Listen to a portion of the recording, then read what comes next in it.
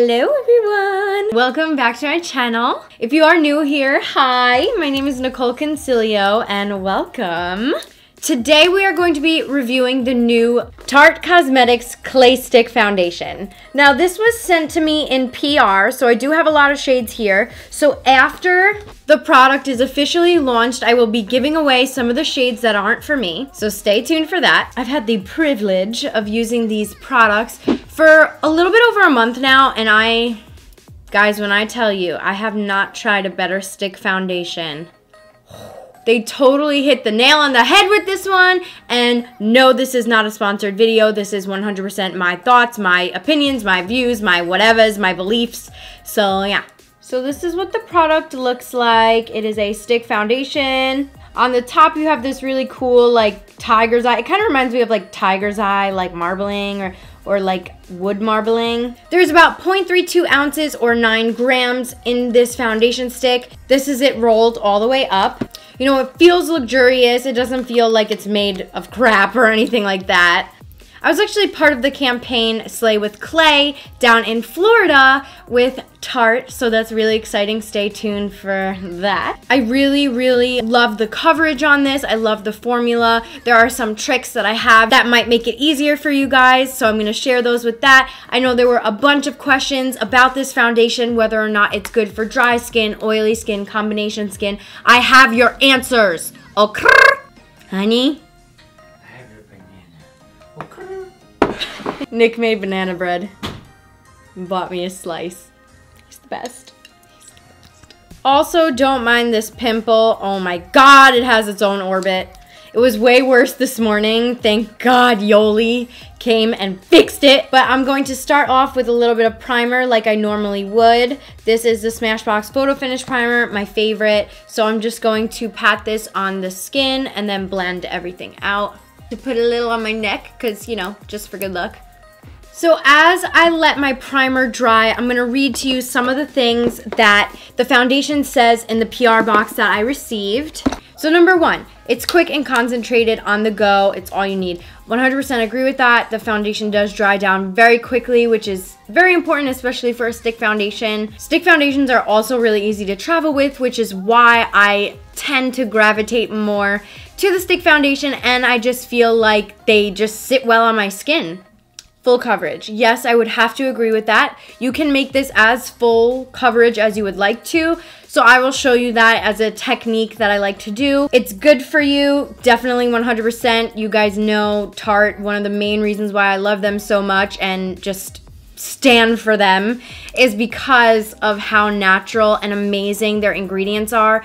So I actually found out when I was in Florida with Tarte that their Amazonian clay is basically found at the Amazon rivers, like the banks of the Amazon rivers, and scooped up into a foundation form. And it's actually really nutrient rich for your skin and all that jazz. So I thought that that was really, really cool and it is a well-balanced foundation and by that they mean it's smooth you can make it matte or hydrating depending on your skin type this is also a 12 hour foundation and i 100% have to agree with that while i was using this in florida and y'all know the humidity in florida is no joke it is no joke, okay? Getting any foundation to stick in Florida is just, is a miracle. The fact that this literally lasted from 9 in the morning till almost 10 o'clock, midnight, that's amazing for me especially since like I am so animated when I talk. I crease constantly. So that is really bomb. That's something to definitely take into consideration if you are looking for a long wear foundation. I also find that is very, very comfortable. So there are a couple ways you can apply this. Of course, you can apply it directly to your face, which is the method that I like to use the most. But I will tell you a little trick for those of you who do have dry skin. I like to add a little bit of the Rainforest of the Sea Radiance Drops to the actual foundation stick blend that in and it makes it so creamy. That's like my little trick I like to do. Also, as far as like if it's good for oily or dry or whatever, honestly, I would say it's really great for all skin types because you can really play with the formula. Like you can add an oil to it to hydrate it a little bit more. You can add powder and it'll look gorgeous. It does dry down to a powder, which is gonna be amazing for those of you who do have oily skin. So I would say this is very universal in its type. So I'm going to apply it first without using the Radiance drops just to show you guys. So that's one swipe. And I'm using the color medium beige because I do have a little bit of a tan still from Florida. You can see it applies amazingly. This is just one side of my face. You can even use this as like a little bit of a primer. Then what I'm gonna do next is apply the drops, which, hello, this is a new product too. This is what this puppy looks like. You can shake it up. It has a little bit of shimmer in it. And you literally only need one drop of this. So, beep. And then just kind of like rub it in and you will see how creamy this stuff gets. Bam! I love that you can play around with the formula so much, you know, like that means a lot to me, especially because my skin, you know, it varies. Some days it'll be super dry and then other days it'll be normal, so I never know what I'm gonna get. Oof, cover up that pimple. So it applies very, very beautifully. This is how I would normally apply a stick foundation. You guys know I've been using stick foundations on my channel for a very long time now. Another thing you can do is use the Radiance drops on your Beauty Blender to just add even more hydration. So I'm just going to do that right now and then just blend this sucker out. It's very easy to blend. It doesn't dry to the powder form too quickly, which is also important to point out.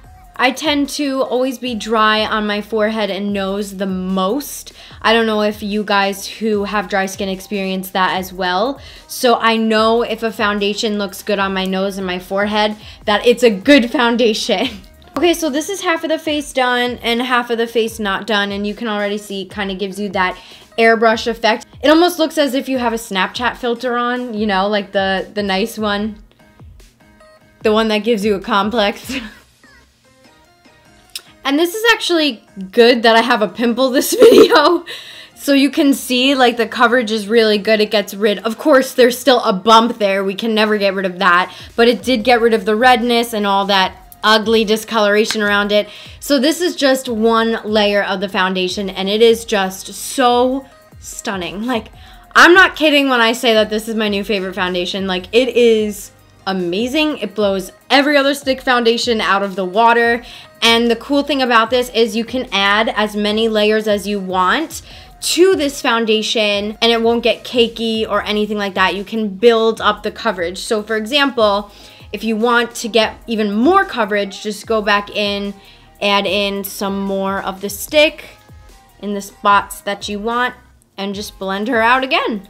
So if you are someone who isn't a fan of like the full, full coverage, you definitely don't have to do this step, but I'm just showing you guys that it is buildable and very easy to work with.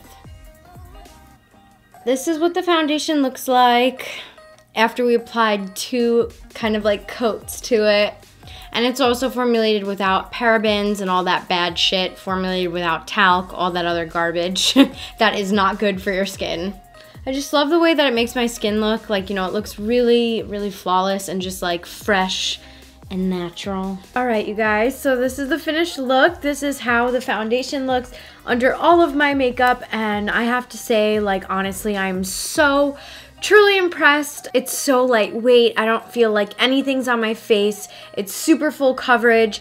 It feels so comfortable. It isn't drying. It's not too matte. It's not too dewy. It is literally the perfect combination for a stick foundation I've ever tried. Once again, Tarte does it. I don't know how they keep doing it, but they do. I don't even want to sound vain, but I keep looking at myself in the monitor and I'm like, oh, okay. Leave me a comment below if you guys have any more questions. I will try to answer as many as I can. All of the new Slay with Clay products will be available on Tarte.com May 21st, so mark it on your calendars. You can even use a darker shade to contour with. Alright guys, make sure you subscribe to my channel and I will see you next time. Bye!